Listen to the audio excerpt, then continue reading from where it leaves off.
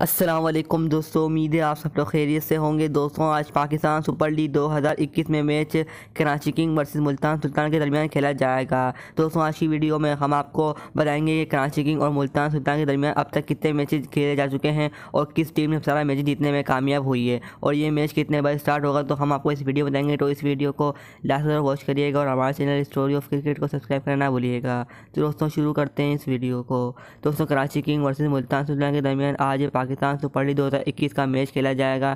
دوستوں کراچی کنگ اور ملتان سلطان کے درمیان اب تک پانچ میچز کھیلے جا چکے ہیں، جس میں کراچی کنگ نے چار مرتبہ ملتان سلطان کو ہرانے میں کامیاب ہوئی ہے اور ملتان سلطان صرف ایک مرتبہ کراچی کنگ کو ہرانے میں کامیاب ہوئی ہے۔ دوستوں اب تک کراچی کنگ سب سے مضبوط ٹیم رہی ہے ملتان سلطان کے خلاف، جنہوں نے ملتان سلطان کے خلاف چار میچ جیتنے میں کامیاب ہوئی ہے۔ دوستوں آج پاکستان سپر لیگ اکیس میں میچ ملتان سلطان اور کراچی کنگ کا میچ شام چھ بجے شروع ہوگا۔ دوستوں امید ہے آپ کو یہ ویڈیو پسند آئی ہوگی، تو اس ویڈیو کو لائک اور چینل کو سبسکرائب کرنا بھولیے گا۔ تو دوستوں ملتے ہیں آپ سے نیکسٹ ویڈیو میں، تب تک کے لیے اپنا خیال رکھیے گا۔ اللہ حافظ۔